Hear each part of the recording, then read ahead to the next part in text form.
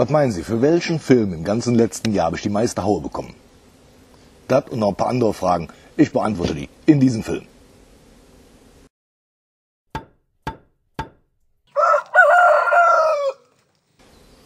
Das sind ja schon eine ganze Menge Filme, die ich gemacht habe im letzten Jahr. Bestimmt 60, 70, also jede Menge. Es sind ja mittlerweile schon einige hundert.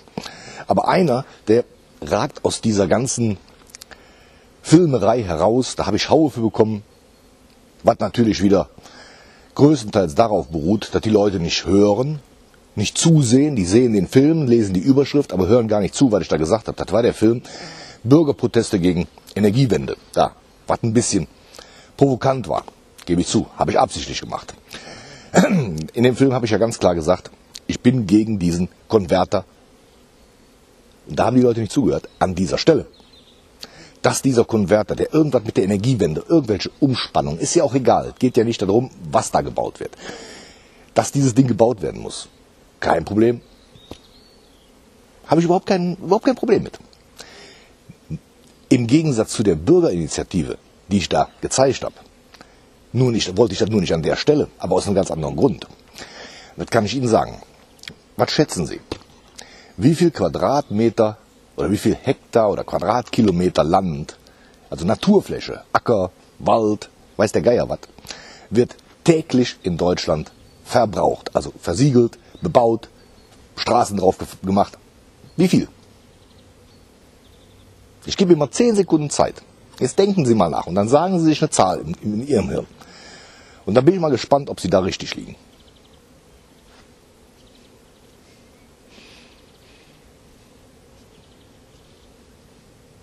Und? Was meinen Sie? Ich kann Ihnen das sagen. Im Moment liegen wir pro Tag bei 74 Hektar. Das sind 100 mal 100 Meter. 74 Hektar davon. 74 mal 100 Meter, 100 mal 100 Meter, die täglich in unserem Land versiegelt werden. Von 93 an bis 2006 lagen wir so zwischen 100 und 130 Hektar pro Tag. Dann fällt die Kurve. So 2012 rum geht's runter. Jetzt sind wir bei 74 Hektar. Das hat selbst die Politik schon aufgeschreckt. Selbst die geht hin und will da was gegen tun. Die will diesen Flächenverbrauch auf 30 Hektar senken. So, jetzt gehen wir mal hin und rechnen das einfach mal prophylaktisch aus. 70 Hektar pro Tag, 700.000 Quadratmeter. Das sind 255,5 Millionen Quadratmeter im Jahr. Oder 255,5 Quadratkilometer pro Jahr. Hört sich nicht viel an? Das sind 0,072 Prozent der Fläche der Bundesrepublik Deutschland. Ist eine dumme Rechnung, ich weiß, aber in 1388 Jahren gibt es hier kein einziges Stückchen Gras mehr. Dann ist nämlich Deutschland zugepflastert, wenn wir so weitermachen, mit 74 Hektar am Tag. So, und deswegen, und das habe ich ja in dem Film auch ganz klar gesagt, was die Leute nicht zugehört haben, deswegen bin ich kategorisch gegen jede weitere Zerstörung von Naturlandschaft. Ich kann mir das erlauben. Ich habe ja meine eigene Meinung. Ich bin kategorisch dagegen. Ob das nun für ein Straßenbauprojekt ist, wobei der Straßenverkehr ja sowieso eines der größten Übel ist, ob das für neue Gewerbegebiete ist oder sonst was. Wo ich ja noch ein klein wenig Verständnis für habe, ist diese Eigenheimsiedlungen, die überall wie Pilze aus der Erde schießen. Mein Gott, ich habe ein Eigenheim. Ich gönne das auch jedem anderen. Aber man sollte vielleicht überlegen, ob auf der anderen Seite nicht irgendwo Flächen renaturiert werden können, wenn schon nicht in der Stadt Flächen frei sind, die dafür nutzbar sind. Aber das ist eine andere Frage. Da können Sie im Internet mal recherchieren, wo da die Problematik liegt. So. Bin ich schon fünf Minuten dran? Ungefähr vielleicht. Fünf Minuten. In den fünf Minuten, die der Film jetzt gedauert hat, sind 2400 Quadratmeter verbraucht worden. Das ist mehr als diese Fläche, die Sie hier sehen. Wieder drei Sekunden vergangen. Acht Quadratmeter pro Sekunde. Jetzt könnte man natürlich sagen, ja, mein Gott, dient ja alles unserem Fortschritt. Ich weiß nicht, wenn das Fortschritt ist, dann hat man irgendwas von Fortschritt nicht ganz verstanden. Aber ich will noch einen anderen Punkt anführen, der mir viel wichtiger ist. Wir sind doch hier die Europäer, die immer so auf die anderen schimpfen. Da schimpfen wir auch immer auf die Brasilianer, die da den Amazonas-Urwald abholzen. Ja?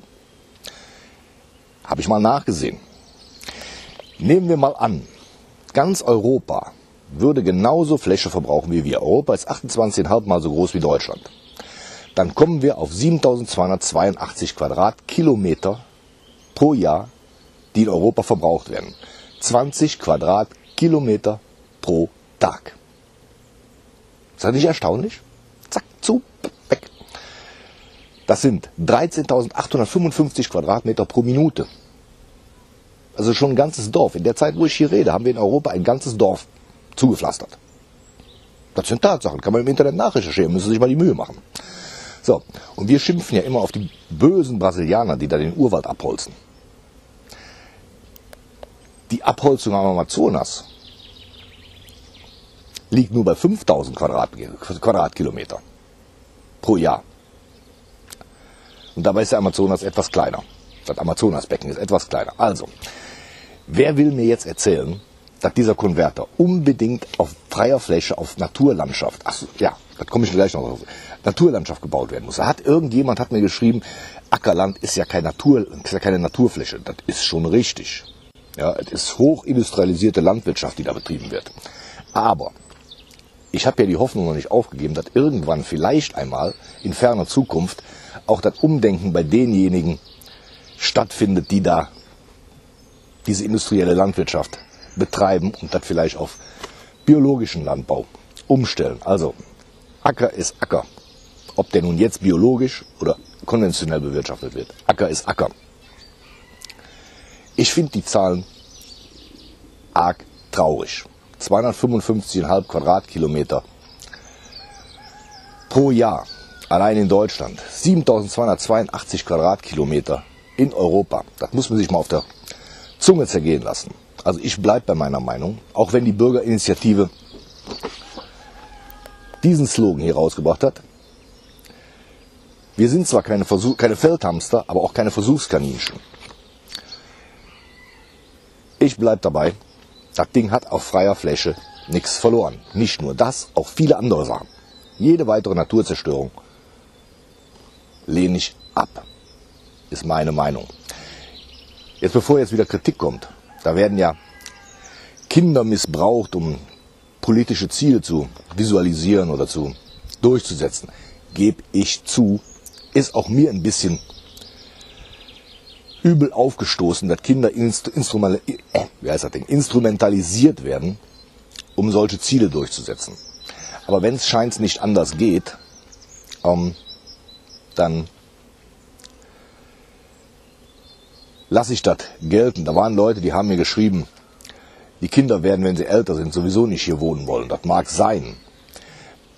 Ist bei mir ja auch so gewesen. Ich habe drei Viertel meines Lebens in der Stadt verbracht. Aber irgendwann, und da bin ich ziemlich sicher, kommen sie wieder hier hin. Und da hat dieses Ding da nichts verloren. Es gibt andere Flächen dafür. Das ist meine Meinung. So, und jetzt können Sie sich diese Zahlen mal auf der Zunge zergehen lassen, mal überlegen, ob ich irgendwo nicht recht habe mit meiner Meinung. So, dann noch ein paar Filme von mir, der Like-Button, abonnieren nicht vergessen. Bis demnächst. Tschüss. Im zweiten Teil geht es darum, wie weit wir schon sind, wie die Erntemengen waren im letzten Jahr. Ähm, und im letzten Teil soll es darum gehen, wo der Zug letztendlich hinläuft. Oder wo der hinfährt, was